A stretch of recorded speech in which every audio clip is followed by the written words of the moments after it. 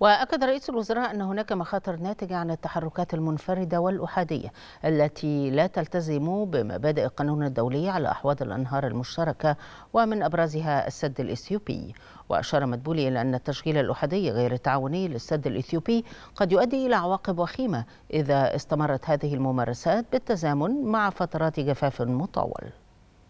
تتضح المخاطر الناجمة عن التحركات المنفردة والأحادية التي لا تلتزم بمبادئ القانون الدولي على أحواض الأنهار المشتركة ومن أبرزها السد الأثيوبي الذي بدأ إنشاؤه منذ أكثر من 13 عام على نهر النيل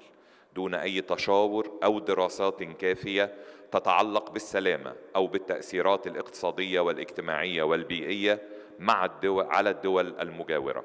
مما يعد انتهاكا للقانون الدولي بما في ذلك اتفاق إعلان المبادئ الموقع في عام 2015 ويتعارض مع بيان مجلس الأمن الصادر في سبتمبر 2021 حيث يشكل استمرار تلك التحركات خطرا وجوديا على أكثر من 100 مليون مواطن مصري.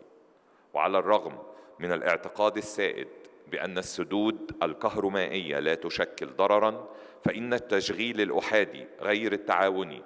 للسد الأثيوبي قد يؤدي إلى عواقب وخيمة إذا استمرت هذه الممارسات